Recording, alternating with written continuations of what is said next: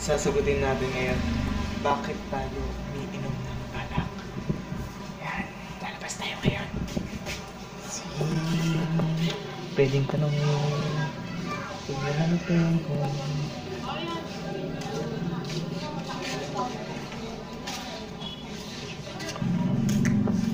Rain? Andiyan pa si Ate Rose? Ate Rose, may tatanong ako.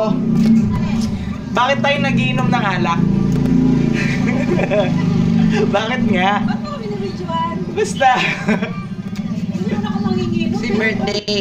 Ikaw, bakit tayo nainom ng alak? Si birthday niya sa location.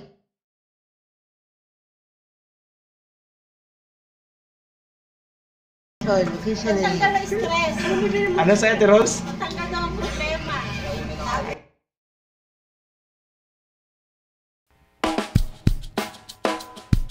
Location na Tanggal ang stress. Location na Tanggal ang stress. Location na